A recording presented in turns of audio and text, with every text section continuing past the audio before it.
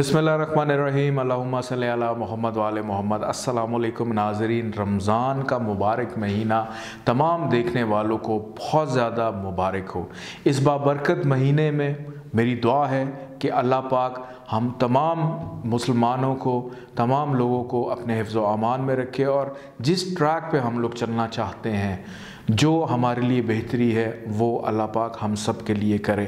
اور اس بابرکت مہینے میں مجھے اے کیو ٹی وی کی ٹیم کو ضرور اپنی دعاؤں میں یاد رکھیے گا اور میں خاص طور پہ تاکید کروں گا کہ ہمارا جو ملک ہے پاکستان، اس کو ضرور اپنی ہر نماز اور اپنی ہر دعا میں شامل رکھیے گا۔ اور ساتھ ہی ساتھ غربہ اور مساکین پر بھی توجہ دیجیے گا۔ ان شاء اللہ تعالیٰ پھر ملاقات ہوگی۔ اجازت دیجیے۔ اللہ حافظ۔